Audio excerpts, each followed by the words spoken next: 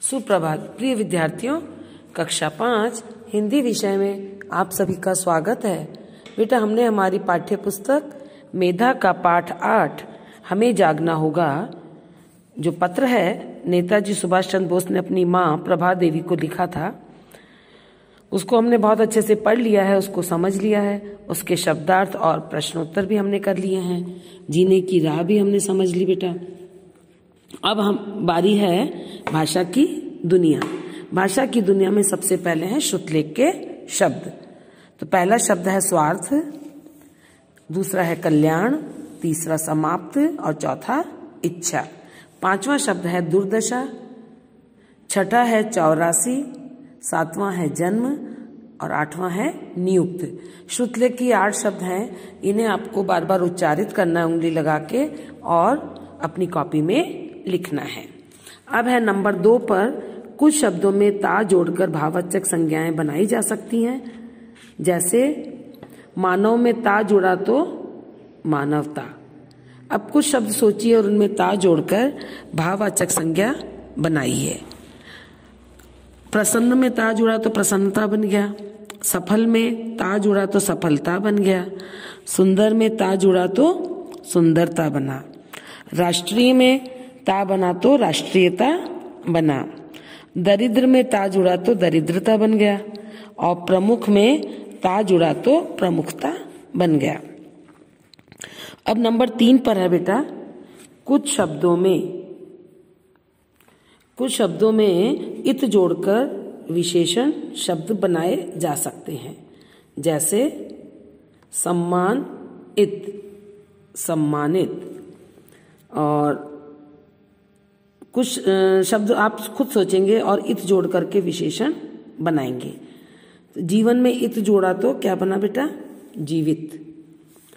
और सम्मान में इत जुड़ा तो सम्मानित। प्रभाव में इत जुड़ा तो प्रभावित। अब इसके बाद विवाह में हमने इत जोड़ा तो क्या बन गया बेटा? विवाहित। प्रवाह में इत जुड़ा तो प्रवाहित।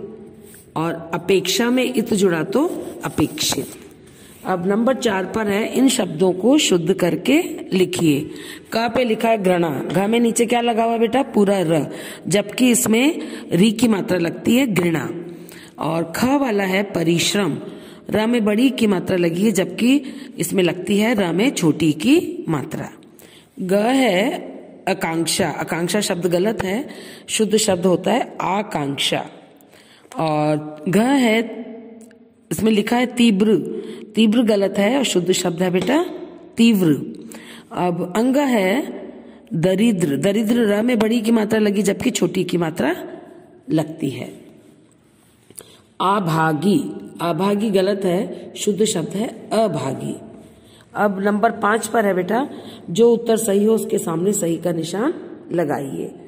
सर्वाधिक शब्द बना है, सर्वा और धिक के मेल से, सर्वाधि और क के मेल से सर्व और अधिक के मेल से। नंबर थ्री पर आप टिक करेंगे, सर्व और अधिक। अब ख वाला है, इनमें से शुद्ध वाक्य है, हम भारत माता के लिए अपना प्राण दे सकते हैं। हम भारत माता के लिए अपने प्राण दे सकते हैं। ये वाला सही है। नंबर टू पर आप टिक करेंगे।